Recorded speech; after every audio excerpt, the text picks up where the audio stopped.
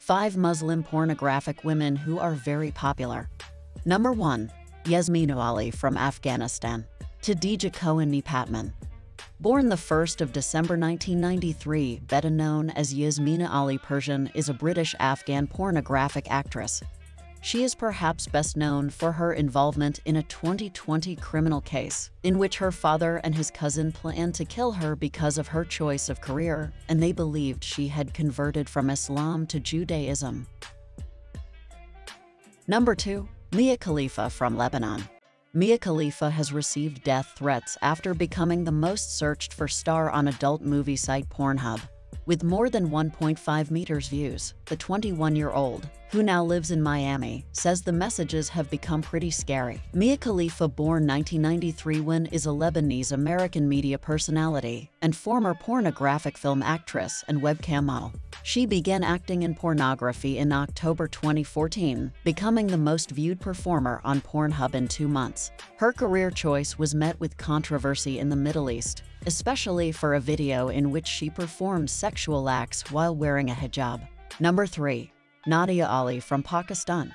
Nadia was born to a Muslim Pakistani American family, and she grew up in New Jersey. What's your name? Nadia Ali. Really? Huh. Where are you from? I'm from Pakistan. She was raised as a Muslim. Although she did not wear a hijab, she stated that still identified herself as a practicing Muslim and that in between her work, she still prays five times a day. Nadia started her career in the adult industry in 2015. She got attention for performing her scenes wearing a hijab. She made more than 20 adult films, including her most famous one Women of the Middle East 2015. In 2016, she left the pornographic industry after offering her role with a man resembling Donald Trump. She found the idea very degrading and disrespectful for Muslim women. She stated that she left the industry because she realized that in some of the scenes they were trying to make Middle Eastern people look bad. But Nadia said that she never regret her career in porn. She's now working in fashion with Refinery 29 Company. Number 4. Aylar Dianati from Iran.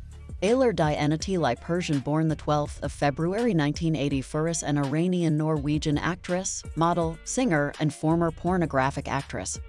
She starred in 10 porn films between 2002 and 2003, but then decided to end her porn industry career and switch to mainstream modeling. She competed in the Miss Norway pageant in 2004, but was disqualified from the contest when it was found she had starred in adult films. Number 5. Porn has a terrible effect on the brain.